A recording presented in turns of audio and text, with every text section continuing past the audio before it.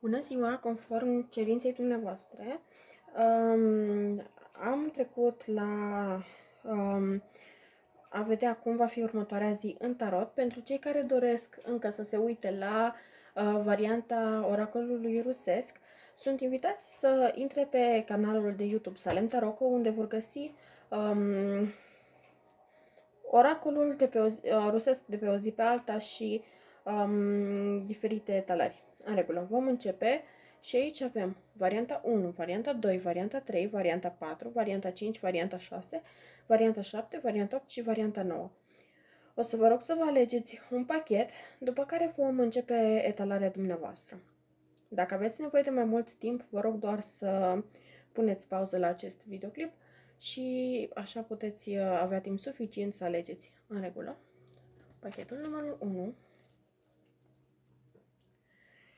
Pachetul numărul 1, aici văd că pentru dumneavoastră este momentul de un nou început, dar încercați ca acest nou început uh, pe care îl aveți după ce ați fost atât de răniți, atât de supărați, atât de mântristați, să pur și simplu să nu spuneți la toată lumea, să-l țineți doar pentru voi, să știți doar dumneavoastră uh, că faceți aceste schimbări pentru că este cel mai bine așa.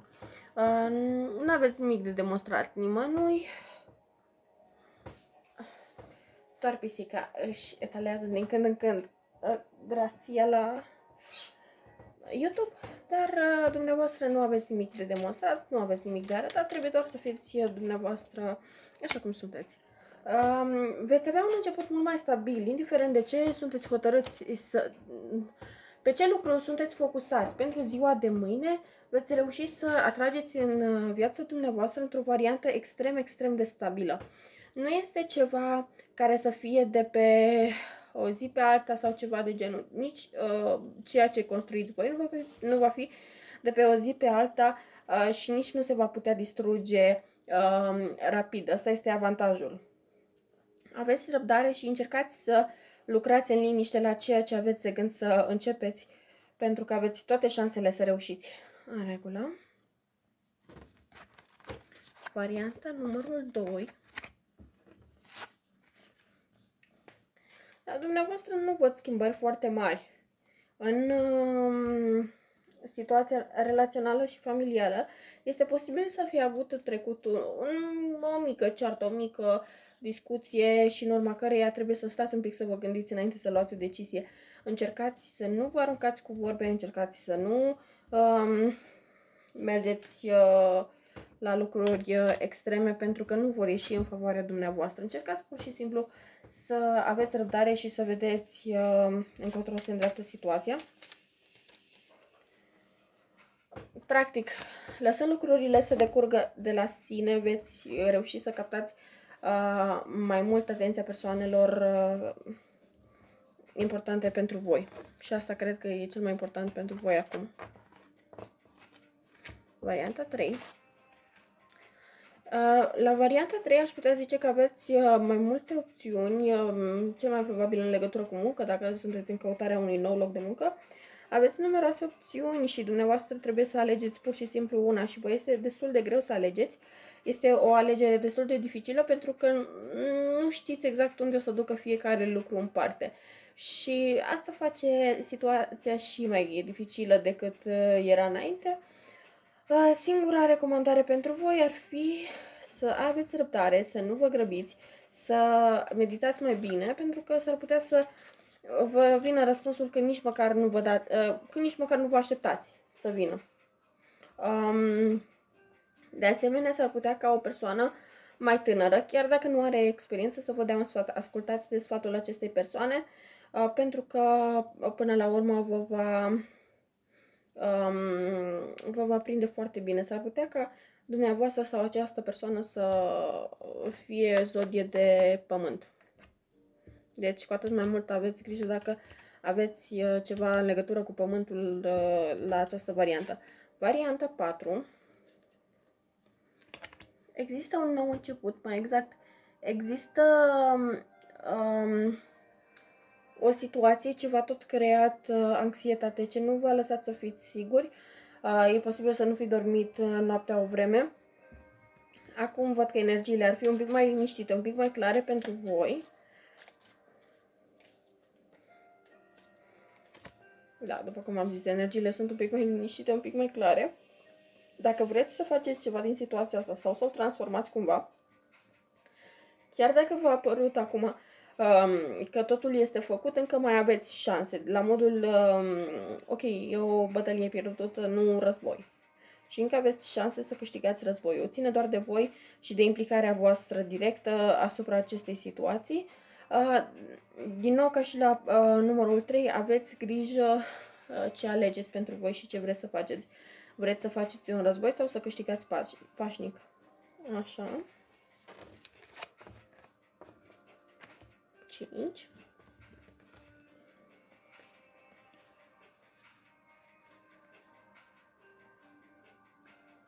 Aici este foarte posibil să fie uh, vorba de un argument destul de mare, un argument uh, destul de serios, um, la care vă vine să ziceți, gata, nu mă interesează, nu mai vreau să aud de nimeni și nimic. Situația nu e chiar așa. De ce? Pentru că, um, practic, uh, dumneavoastră nu puteți vedea clar o anumită situație încă. Deci nu, trebuie, nu e momentul de luat decizii, nu e momentul să mm, faceți scene sau tot felul de lucruri de genul, pur și simplu încercați să respirați și să uh, așteptați, pentru că oricum o să vedeți cu ochii voștri ce aveți de văzut. Indiferent că aveți sau nu dreptate, trebuie să așteptați și să, abia apoi să um, hotărâți dacă aveți dreptate sau nu, nu pur și simplu să săriți. După cum putem vedea la acest 5 de um, monede, este posibil ca pur și simplu uh, să fie ceva probleme în legătură cu, o coro- uh, cu chakra coroanei și cu al treilea ochi.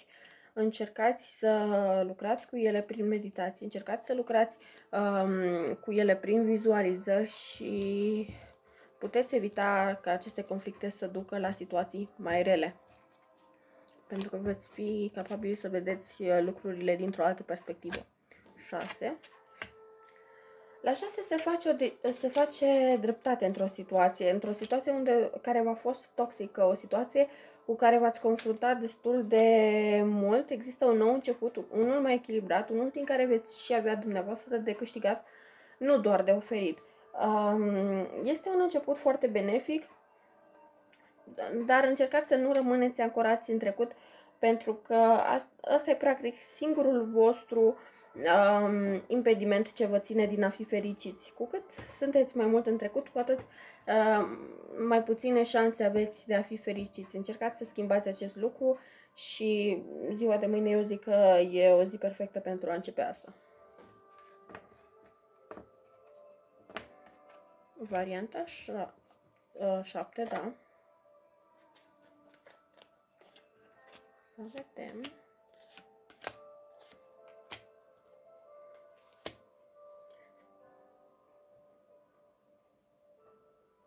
Aici putem vorbi despre um,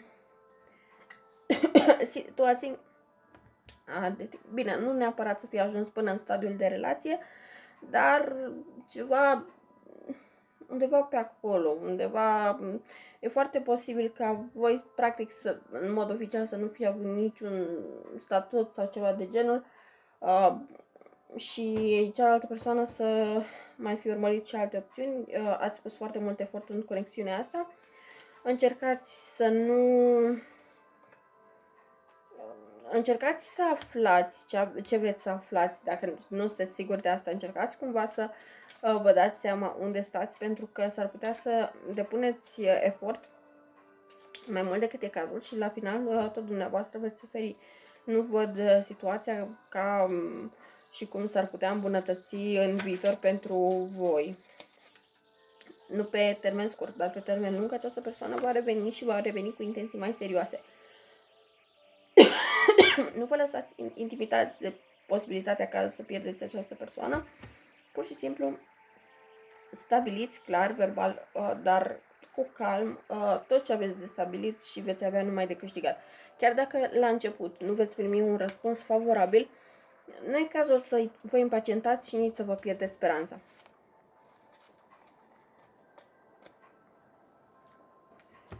Opt.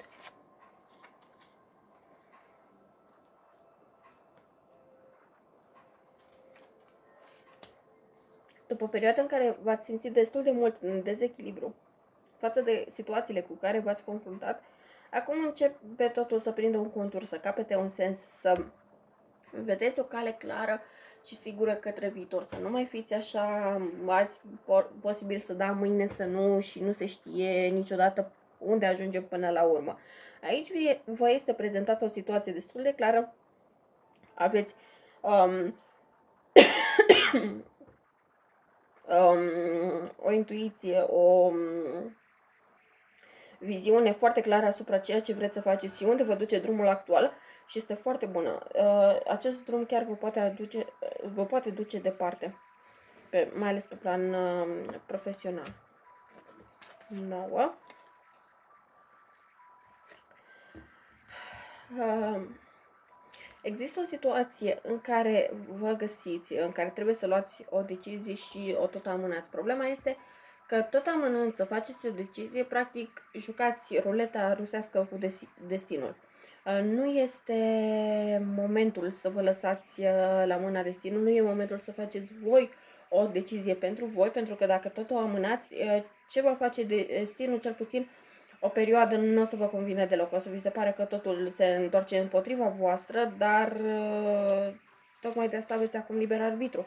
Încercați să vă hotărâți Uh, dacă nu știați dacă trebuie să plecați sau nu de lângă, aceast, de lângă o anumită persoană, oricum comunicarea se răcește din ce în ce mai tare și oricum veți alege să plecați uh, sau această persoană va alege ea să plece. Deci, practic, dinamica relației astea, uh, pentru cei care au ales la nou, dacă nu o faceți voi, oricum o va face curând partenerul. Nu, deja nu prea contează exact cine o va face primul, va fi exact același uh, rezultat.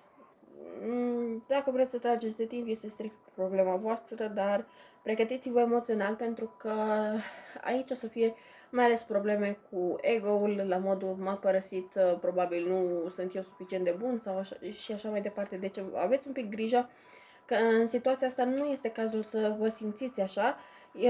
Singurul motiv pentru care această relație se destramă este că pur și simplu ați ajuns la o completare, la, ați învățat tot ce ați avut de învățat, ați văzut tot ce era de văzut în această relație, este timpul pentru una nouă. Iar acum, cine pleacă primul este doar o chestiune de timp, de nimic mai mult. Încercați să nu rămâneți uh, prea mult ancorați în situația asta, pentru că o persoană nouă vă așteaptă destul de curând. Vă mulțumesc că m-ați urmărit și să ne revedem cât mai curând.